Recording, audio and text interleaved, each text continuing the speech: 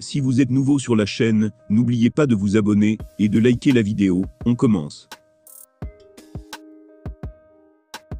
De nouveau attaqué par Dana White ces derniers jours, Francis Ngannou a décidé d'en finir avec la langue de bois.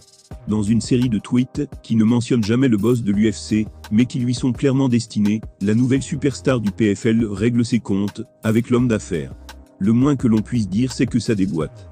En milieu de semaine dernière, Francis Ngannou décidait de jouer la carte de l'apaisement. Content de son tour de force du côté du PFL, le Camerounais expliquait qu'il ne souhaitait pas arborer de rancœur envers Dana White. Et ce, en dépit de leurs nombreux accrochages, un positionnement désormais totalement révolu, puisque l'homme d'affaires a fait dégoupiller le Predator, en clamant haut et fort que John Jones l'aurait fini aussi vite que Cyril Gann. C'est sans doute la goutte d'eau qui a fait déborder le vague pour Nganou.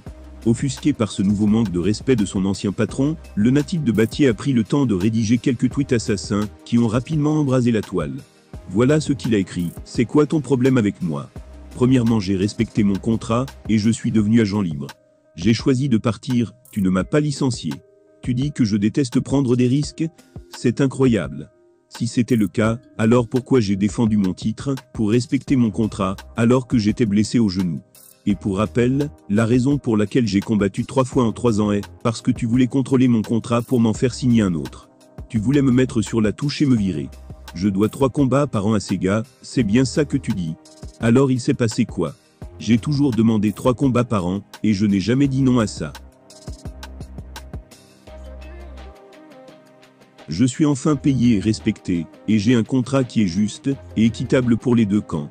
Pourquoi es-tu si opposé à ce que je sois libre et heureux? Nganou ne s'est pas arrêté là. Il a encore enfoncé le clou en évoquant le fameux combat contre John. Il a carrément invité à un cross d'événements entre UFC et PFL, idée qui débecte Dana. Voilà ces mots. Si tu veux vraiment que ce combat contre John ait lieu, contacte Pete Murray, et on fait ça où tu veux, quand tu veux.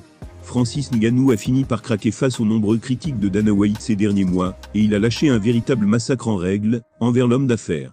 Nul doute que la réponse du boss de l'UFC ne se fera pas trop attendre.